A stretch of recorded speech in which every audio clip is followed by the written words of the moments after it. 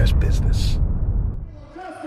I am gonna John Business from this building tonight. Don Martini thought he had it all figured out by banning me from the building, but as you can see, the thoroughbred Blake Maxwell doesn't mind taking care of business all by himself.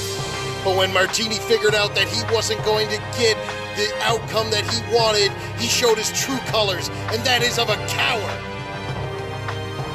So that leads me to my next question, Don Martini, you coward. What does the Family Bizniz do about you? You claim to be an unbiased GM, but you try and take every single advantage that you can over any member of Family Bizniz. I just left my lawyer's office and received some very interesting legal advice.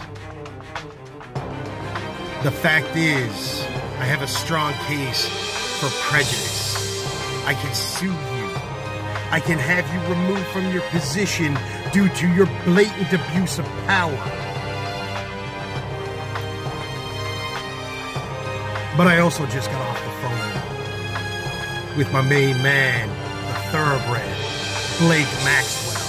And Blake is furious that you would interfere in him eliminating the redefinition, Scott Humphreys. He is furious that you would lay hands on the golden ticket holder and the future NEW heavyweight champion, the uncrowned NEW heavyweight champion. So here's what we're gonna do, Don Martini.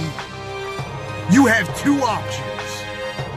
Number one, you surrender your position as general manager and admit that you are completely incompetent and unable to run this promotion unbiasedly.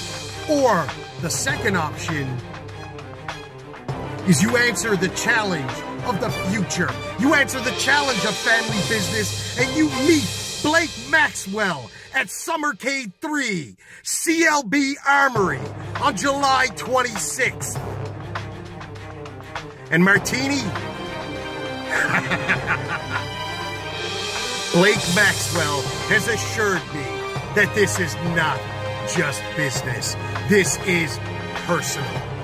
He will beat you. He will victimize you. He will cripple you. And at the end of the day, just like Mike Barrington when he became an annoyance to the Family Bizniz, you too will find yourself in the unemployment line.